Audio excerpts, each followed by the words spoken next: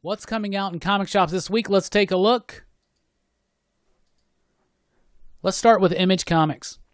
They've got Copra, number six, coming out this week. It's a new story arc. They got Nailbiter Returns, number one, Josh Williamson horror comic book. I haven't really been reading it that much, but I hear great things about it.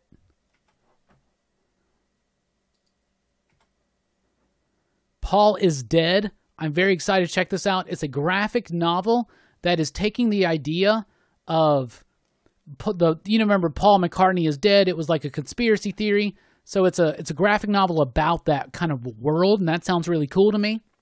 It's got amazing artwork in it. If you look at some of the preview images, Postal Deliverance number eight, Reaver number eight, and the Ride Burning Desire trade paperback from Dark Horse.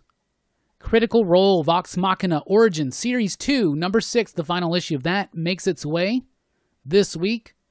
Everything comes out in trade paperback volume 1. That's a really cool book. So is Strayed. Excuse me. That was a really cool book. Fight Club 3, the hardcover comes out. We'll soon be home again. I'm hearing some rumblings about this. The testimonies of six real survivors of the Holocaust are portrayed in comics, illustrating the persecutions in the ghetto, the dehumanization in the concentration camps, and the industrial scale mass murder taking place in the extermination camps. I hear really good things about that stuff. From IDW, we've got G.I. Joe, Real American Hero number 271, Ragnarok, The Breaking of Helheim number 5, Star Trek Year 5, number 11. Look at that beautiful cover right there. That's gorgeous. Gorgeous, gorgeous. We'll skip over the big two real quick. From Dynamite, we only have Boys, Dear Becky. So if you're a Boys fan, they're returning. So check that out. It's written by Garth Ennis. Nancy Drew and the Hardy Boys, The Death of Nancy Drew, number one. That's from Dynamite. From Boom Studios, we've got Buffy, Every Generation, number one. That's a one shot comic book. Very excited. And we got Red Mother, number five with some amazing covers. Plus, look, a trade paperback of Red Mother in case you missed out on Volume 1. Red Mother's a fantastic book, and I love it. Let's look at some of the other series out. Backtrack number 3. That's a great series from Oni Press where these people get kidnapped and forced to do a race, a, a car race through time. Lots of fun with that. Finger Guns number 2 from Vault Comics. I read this already. It's available digital already. Um, but I read number two and number three, and this book just keeps getting better and better. Dragon Whisperer, number two from Red 5. Gung Ho, number four from Ablaze. The Headless trade paperback from Scout. It's got some great coloring in that book. Kids, number three from Ablaze. That's been a great book. North Bend, number two from Scout Comics. We actually got some advanced reviews for Scout Comics coming up on the channel soon. Robin Hood Vigilante number six, Sabrina Something Wicked number one. I've read this already because it released digital on like April 1st or something, and it was really solid. It's basically Kelly Thompson continuing her Sabrina run, and I really liked it. And Wretches number five. Let's go to the big two. You can find all this information at Previews World. It's updated now. From DC Comics, they're getting more into the swing of things. We got Action Comics 1022. And look, apparently the variant's the same cover. what?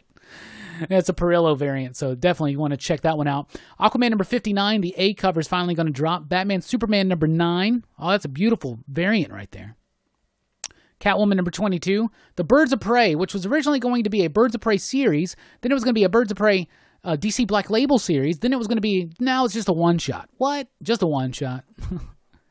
but it's out. The Catwoman 80th Anniversary 100 page super spectacular special is out with a myriad of covers.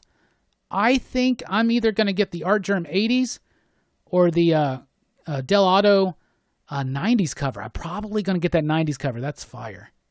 I also really like the main cover by Joelle Jones. Let's see. Detective Comics 1022 with a great Lee Bermejo uh, Two Face cover for the uh, variant. Far Sector returns with issue number six. John Constantine Hellblazer number six. Shazam number 12, which, as we talked about in the weekly pop culture wrap up, is not the finale of Geoff Johns' run. It's a it's a it's a story that's just kind of fit in the middle of it. It's by Jeff Lo- Loveness, which is cool, but You got to wait till issue 13 to get that double sized finale of the Geoff Johns run. Wonder Woman 756 is out this week. The Last God uh, source book number one.